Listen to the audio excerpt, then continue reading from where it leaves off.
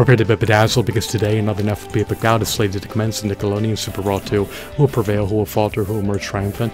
Stay tuned because I'll keep you abreast of the play-by-play. Today, the illustrious, iconic, notorious, renowned, revered, legendary Aang, the Avatar is pitted up against Timmy as Cleft. Is Cleft a vigilante, or is he deemed to be a neutral character? I do not know anything about his lore, however, I'm presuming that he's deemed to be a vigilante.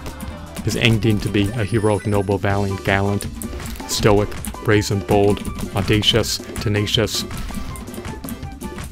warrior? I'm presuming that he's not feeble, nor meek, nor timid, nor bashful. However, I did not know anything about Aang's lore. Is Aang going to martyr me, maim me, mutilate me, mangle me, brutalize me, ravage me, decimate me, subdue me, and incapacitate me? Will he render me a deceit and a cadaver, or a carcass?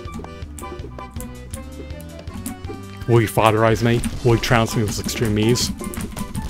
Is he going to clobber me to death, pummel me to death, thrash me to death, and pulverize me into submission? We will find out soon, stay tuned.